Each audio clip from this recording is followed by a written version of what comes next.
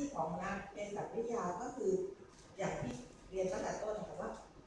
ที่เขาบอกว่ารักษาไม่หายเนี่ยจริงๆเนี่ยมันเป็นเพราะว่าเชื้อดื้อยาจริงหรือเปล่าหรือว่าผู้ป่วยเนี่ย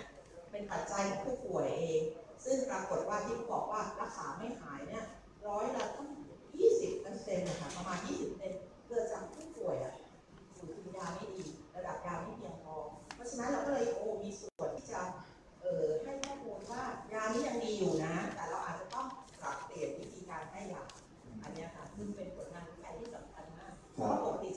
ม่มีใครมาเหมือนกับ identify หรือยืนยันว่าเชื้อดื้อจริงนะก็เปลี่ยนยาไปเรื่อยๆอะค่ะครับแสดงว่าการวิจัยของอาจารย์ในเรื่องของมาลาเรียนี่ก็คือว่าหนึ่งก็คือดูกระบวนการทำงานของร่างกายมนุษย์ว่ากับยาสัมพันธ์กันยังไง อย่างที่สองคือเป็นการที่ใช้วัตถุดิบพวกนี้นะหรือว่าส่วนผสมของตัวยาเนี่ยที่ในการช่วยกำจัดหรือว่าช่วยอะไรในเรื่องของมาลาเรียด้วยถูกไหมครับ ที่ที่อยู่ในกระบวนการวิจัย เป็นการปรับเปลี่ยนวิธีการและขนาดยานะคะให้เหมาะสม คือมันเป็นไปไม่ได้ที่เราจะการพัฒนายาใหม่เนี่ยใช้เวลาเป็นสิบปีนะคะเหมือนกับตอนนี้ที่เราพยายามหายาต้านโควิดเนี่ยค่ะมันไม่ได้ใช้เวลาสั้นครับๆเพราะฉะนั้นเราก็เอายาที่มีอยู่เนี่ยที่เราคิดว่ามันยังมีคุณสมบัติที่ดีอย่างกินเขาซูเนี่ยแต่เรามาปรับเปลี่ยนยังไงวิธีการให้ยาให้ให้มันใช้ได้ผลดีครับเลยเป็นผลสำเร็จนะต่อเนื่องมาถึงทุกวันนี้นะครับ อันนี้ก็จะเป็นเรื่องของโรคมาลาเรียนะครับ แต่อีกหนึ่งโรคครับที่มีความสัมพันธ์นะฮะกับการใช้ชีวิตของผู้คนในหลากหลายพื้นที่เหมือนกันนะฮะนั่นคือเรื่องของมะเร็งท่อน้ำดีครับปัญหาหลักๆก่อนที่จะไปวิจัยเรื่องนี้เกิดจากอะไรครับอาจารย์นะก็คือพอหลังจากที่ยาจากนาเวชศาสตร์เดือดร้อนมามหาลัยธรรมศาสตร์ใช่ไหมก็มองเห็นปัญหาอีกปัญหาหนึ่งของประเทศไทยแบบด้านมาเรียเนี่ยเราดื้อยาที่สุดในโลก แต่พอมะเร็งท่อน้ำดีเนี่ยเราเป็นประเทศที่มีอุบัติการมะเร็งท่อน้ำดีสูงที่สุดในโลก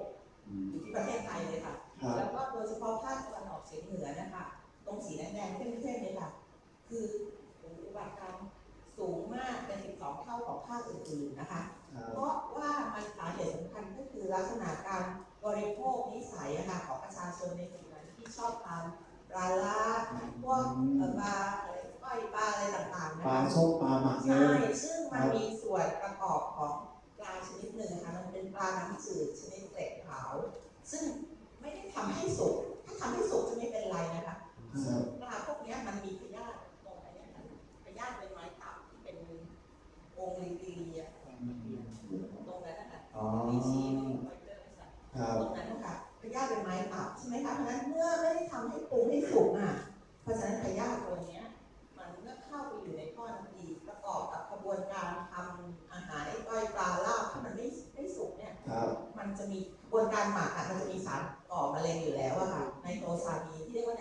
มีนมันเป็นสารที่เขาเรียกว่าเป็นก่อนที่จะเป็นสารก่อมะเร็งพอเข้าไปในร่างกายแล้วไปอยู่ร่วมกับพยาธิใบไม้ตับอะแล้วเกิดการอักเสบในท่อน้ำดีไอ้สารตัวเนี้ยมันก็เลยกลายเป็นสารก่อมะเร็งแล้วพอประชากรในภาคนั้นเนี่ยทานไปทุกวันทุกวันค่ะสิบยี่สิบปีเนี่ยมันจะอาจจะพัฒนาเป็นมะเร็งท่อน้ำดีอืมเนี่ยคือปัญหาสำ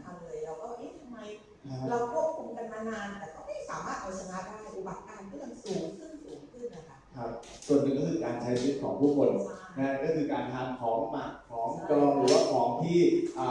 ไม่ปรุงสุกก่อนนำมาทานนะคืออาจารย์กำลังบอกว่าถ้าอยากทานพวกปลาร้าหรือว่าปลาหมักพวกนี้ทำให้สุกก่อนนะทำให้สุกก็จะได้ลดอัตราเสี่ยงของมะเร็งท่อน้ำดีซึ่งตัวพยาธิใบไม้มันจะอยู่ในตัวปลาน้ำจืดหรืออาจารย์นะพอพอนำพอนำมาทาน มันก็จะมีการสะสมไปเรื่อยๆ10ปี20ปีนี่คือสะสมในร่างกายครับ เขาก็ทานปลาร้าทุกวัน กระบวนการการอักเสบเนี่ยมันก็จะค่อยๆกระตุ้นเนาะให้เปลี่ยนสารให้ก่อมะเร็งเนี่ยให้มันเป็นเป็นสารก่อมะเร็งอย่างเงี้ยแล้วก็พัฒนาให้เซลล์ของไอ้ข้อน้ำดีเนี่ยค่ะกลายเป็นเซลล์มะเร็งในที่สุดอืมแล้วพอเป็นมะเร็งท่อเด็กท่อน้ำดีนะครับมันจะส่งผลให้แบบมีอาการยังไงบ้างมีตาเหลืองเนี่ยนะใช่ตาเหลือกตัวเหลืองแล้วตัวปัญหาของโรคเนี้ยจะต่างกับมาลาเรียคือผู้ป่วยอะค่ะก็จะมาพบแพทย์เนี่ยตอนที่มันเป็นระยะสุดท้าย ระยะที่สี่แล้วเพ ราะว่าเนื่องจากไม่มีวิธีการวินิจฉัยโรคอะค่ะคืออย่างบางครั้งมะเร็งบางชนิดเนี่ยค่ะถ้าเราเจาะเลือดเนี่ยค่ะไปตรวจจะพบเขาเรียกว่าสารบ่งชี้อะว่าผู้ป่วยคนเนี้ยนะน่าจะเป็นมะเร็งชนิดนี้ครับแต่มะเร็งท่อน้ำดีเนี่ยผู้ป่วยไม่มีอาการเลยอะจนแบบระยะสุดท้ายใช่ไหมคะเราไม่มีวิธีการไหนที่จะวินิจฉัยเขาได้ตั้งแต่เริ่มแรกเพราะฉะนั้นผู้ป่วยมาพบแพทย์ตอนที่มันแทบจะไม่มีทางรักษาแล้วนะคะ อันนี้เป็นปัญหาเพราะฉะนั้นเรามองเห็นปัญหา อันนี้ แล้วส่วนอันที่สองคือพอมองเห็นปัญหาอันนี้ต่อเลยได้ครับ ก็คือเอ๊ะทำยังไงจริงๆ ในฐานะนักเภสัชวิทยาน่ะเราก็ต้องเอาศาสตร์อื่นมาร่วมใช้อะคือเอ๊ะจริง ๆ งานไม่ได้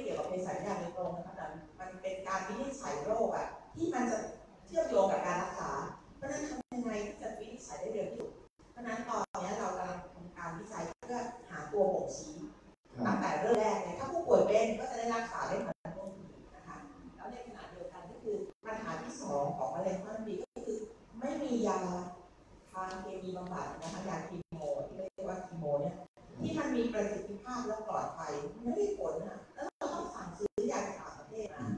ใช่ไหมคะแล้วผู้ป่วยส่วนใหญ่อะที่เขาเป็นระยะหลังเนี่ยเขาไม่ไม่รับอย่างเช่นตอนนี้เราทำการศึกษาอยู่ที่โรงพยาบาลสกลนครนะคะมีผู้ป่วยประมาณ 400 รายต่อปี เขาจะไม่รับ 50%เนี่ย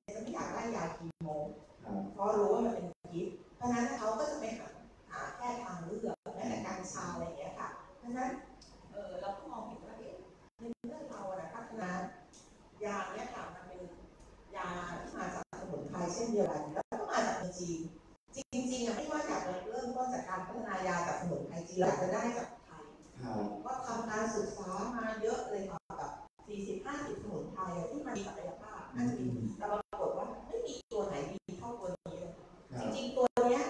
มันเป็นเขาเรียกว่ามันเป็นเอ่อเรียกว่าสายใกล้เคียงกับไอ้ตัวทิงเฮาฟูนี้เลยครับซึ่งอยู่ในประเทศจีนเหมือนกันใช่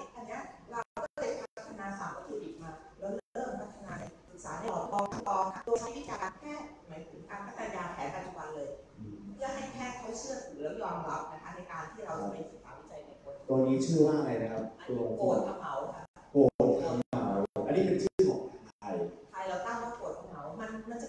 เอ่อเป็นเง่าในส่วนของคล้ายๆรากนะคะจะมีในประเทศในประเทศจีนญี่ปุ่นอ่าเกาหลีที่เขตอะมีอุณหภูมิเย็นหน่อยค่ะเมืองไทยเราไม่สามารถปลูกได้ครับเราก็เลยมีความจำเป็นต้องสั่งวัตถุดิบมาเนี่ยมาจากจีนอืมแล้วก็มาศึกษาพัฒนาครับคือตอนแรก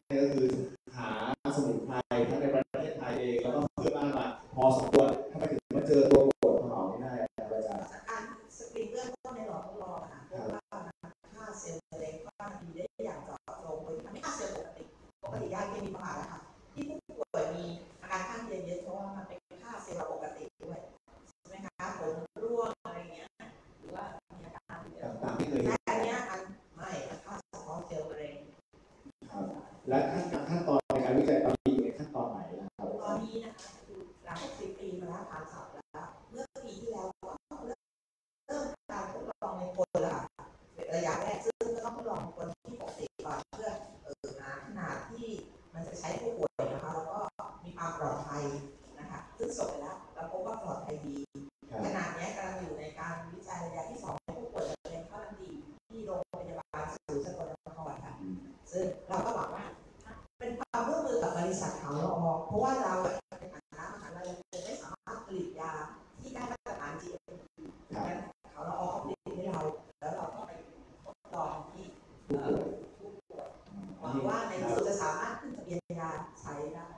อันนี้อยู่ในขั้นทดลองขั้นที่สองอยู่ ระยะที่สองในคนครับผมและหลังจากนี้ก็มีการทดลองต่อไปก็คือคาดว่าระยะสองคนนี้จะเสร็จสิ้นปีนี้ แล้วก็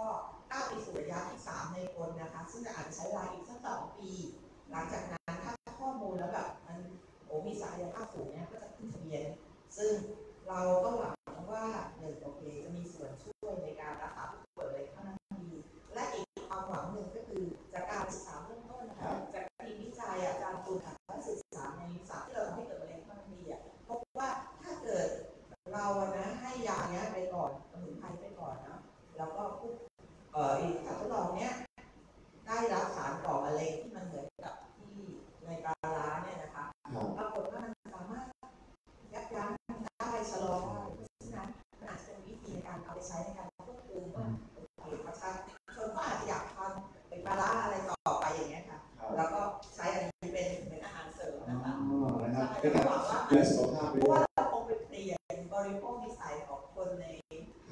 มันไม่ได้ ครับยาทวปนะหรือว่าของอาของอาหารน้าจะออกทุ่มส